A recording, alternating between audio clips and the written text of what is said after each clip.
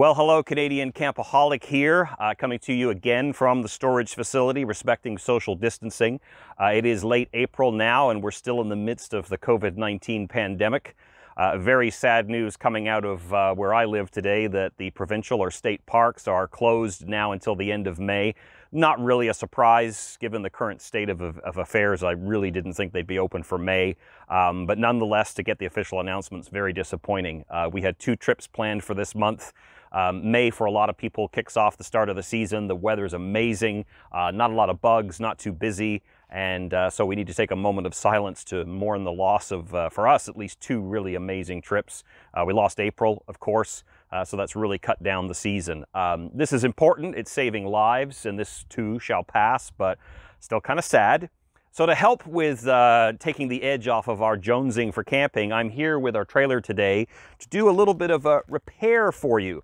Um, we noticed late in the season last year that the power tongue jack, the switch which allows the uh, tongue of the trailer to go up and down, um, it wasn't working properly. You had to really mash down on the button to get it to work, and sometimes it wouldn't work at all.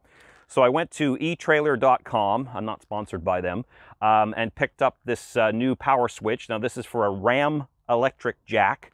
Um, I'll put the part number in the description below, but this is part EJ 3520 PSW. Now this is not the switch for the light, this is the switch that actually um, allows, like I said, the, the tongue of the trailer to go up and down. Um, I've never performed this repair before, but it's pretty straightforward. Um, it's got uh, six blade connections, and it looks like it snaps in just with a couple of little retaining clips. So we're going to take the cover off the power tongue jack. Uh, we do not have the battery connected. You want to make sure your 12 volt supply and your shore power is disconnected before you mess with this. And um, let's change it out, see how it goes.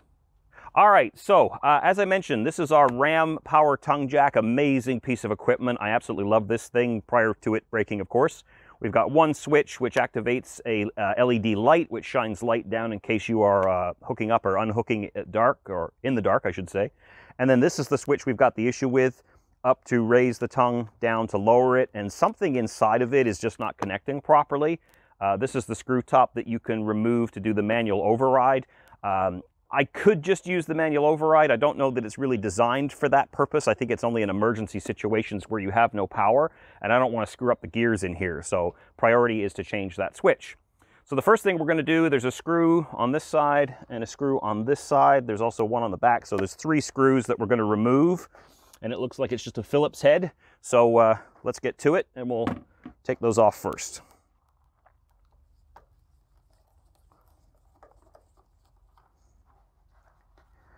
Make sure I don't lose them. I'll just put them in the little tray here for the propane tank.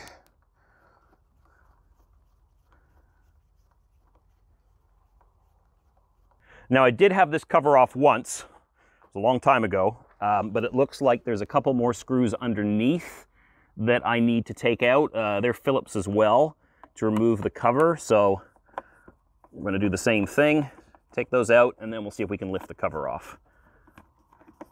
All right, so we took out two uh, silver screws from underneath with the Phillips head, and now the cover is starting to come off. Now, one little caveat to this job is that in behind here, there's uh, some circuitry, and the wires that they've used to connect to this switch are very short. So uh, first of all, you want to be careful you don't break the wires because that would be a disaster. But secondly, I'd only recommend doing this job on a nice warm day uh, if you do it on a cold day and the wires are really stiff and brittle, you could snap the connections right off and that would suck. So we're just going to very, very carefully lift this up. And I'm going to pivot it forward. And uh, we'll bring the camera around here in a second to kind of show you what we're at. But what I'm going to need to do is get my fingers in there and try to release the switch from the back there's two little tabs that you push down, and they're going to be a little stiff and brittle that we're going to try and squeeze down uh, to remove. So we'll uh, pause it here for a second, and I'll show you inside. All right. Not sure how well you're even going to be able to see this, but we've got the cover tipped off, and that's the back of the switch there. So this one on here is just for the light. That one is the one that we're replacing, and you can see on the bottom, there's a little tab that you can squeeze, and there's one on the top as well. I thought I was going to use needle nose pliers, but you know what? That switch is pretty big and I don't want to damage any of the wiring. But you can also see, like I said, they haven't really given you a lot of slack to play with. Um, probably could remove the wires on all sides, but what I want to do is push the switch out of the front so that I can see where all the connections are and I don't mess it up when I put it back together. So uh, let's give that a try and see if we can push it out the front. Okay, so as I suspected, this job was going to be a bit of a bitch, pardon the language. Um, what we had to do was, this is the switch uh, which powers the LED lights. You can see the circuit board here with the little LED lights on the front. Uh, this has a negative and a positive connection, of course.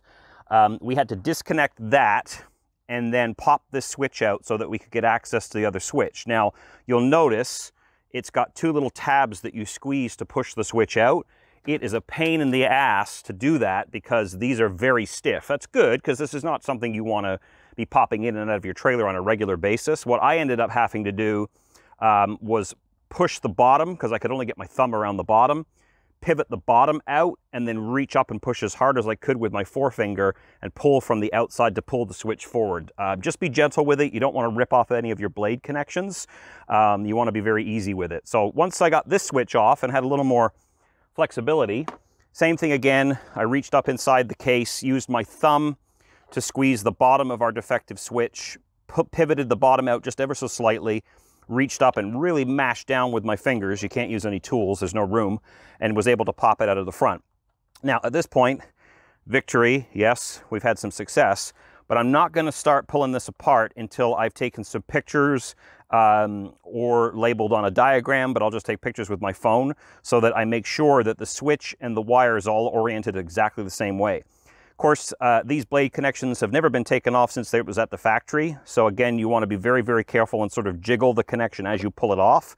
If you just grab the wires and yank, you could rip the wires right out of the back of the connection and that would be a disaster, especially because during the lockdown, access to hardware stores and equipment is a little bit limited. So uh, I'm going to very gently start taking these off. Um, I'm going to take a few off and see how easily it goes, and then I'll show you uh, me taking a couple more off. That way if I screw it up, you're not listening to me swearing. So one little piece of advice I would give you, I've just about got this done. Um, we've got the new switches fully installed here. I hooked up the power a second ago to the battery and tested it and it works fine. Um, one of the things that I would really uh, be careful of is when you're removing these blade screws or blade connections, you zoom out here and see if I can get that to focus. Come on, focus. Uh, it's a little hard to see, but there's like a little locking tab there. Um, if you have like a, a steak knife or um, uh, you know a little um, any kind of little blade, you can sort of see if I can get that to focus more. So uh, just a little tip, it's very hard to see and it's blurred, but in the center of that blade connection, there's that little rectangular piece with a notch in it, which is almost like a little tab. If you can pull the uh, insulation back off of the connection and gently pry that up either with a very, very small flat blade screwdriver or the edge of a, a, knife or something. It makes it a lot easier to remove these connections. The reason this job was a little more difficult was the first two I could pull the little shrink piece back and it wasn't a big deal. But if you look up inside there, the uh, insulation on those other spade connections is heat shrunk on. Uh, now, if you were a pro, you'd probably cut that off put a new one on, reconnect all the connections, and then shrink it with a heat gun. I don't have that, that privilege and that luxury, um, but that definitely made it a much more challenging job to do because you, you've got to be very, very careful in the way that you pull them off. Also got to be very careful in the way that you reassemble them because you don't want them to easily fall off while you're driving down the road. So um, not a complicated job, not even necessarily a dangerous job, but definitely a pain in the butt. If you don't feel comfortable doing it yourself, uh, get a tech to do it. But uh, we're just about done. We're going to put everything back together, do a final test, and then we'll wrap this video up. All right, so sore fingertips, a little bit of frustration. I did not swear. I might have said shit once, and I just did then too. Uh, so we put the case back on. I have not put the screws in it yet, just because I want to be doubly sure that everything is working exactly the way that it should. I've got the battery all connected. Uh, so there's the light. light is working beautifully on, oh, sorry, off, on, off, on, perfect. Moment of truth, this is the new switch.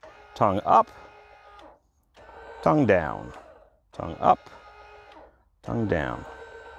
Yeah, it's nice and nice and smooth. In fact, I think this is better than the other switch ever was. The other one you had to really push down on it even from the day that we, we first had it. So I'll put the screws back in, the two in the bottom, three around the side, um, and then uh, that'll wrap this job up.